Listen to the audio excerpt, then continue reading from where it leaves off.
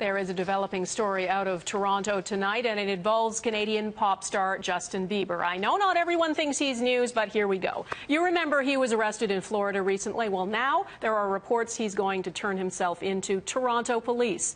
Our Christina Stevens is outside the police station where the hordes of photographers have begun to gather. Christina, what's Justin Bieber done now?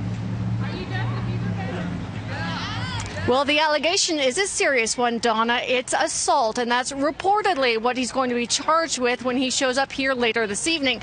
Now, this all stems back to a December 29th incident. Bieber was here in town to see a Toronto Maple Leafs game, and there was an incident involving a limousine driver. Now, at the time, police confirmed something had happened, but they wouldn't say whether it involved Bieber himself or perhaps a member of his entourage. Now we're finding out that these are allegations of assault. Now, this all comes at a bad time for Bieber as you mentioned, just last week he was arrested in Miami Beach, Florida, after allegedly being caught drag racing. There he was charged with impaired driving and resisting arrest without violence. He was released on bail.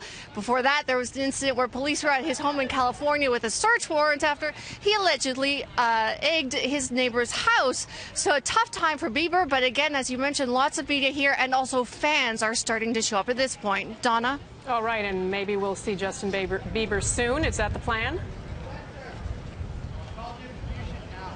We'll see. All right, Christina Stevens at the 52 Division Police Station in Toronto. Thanks.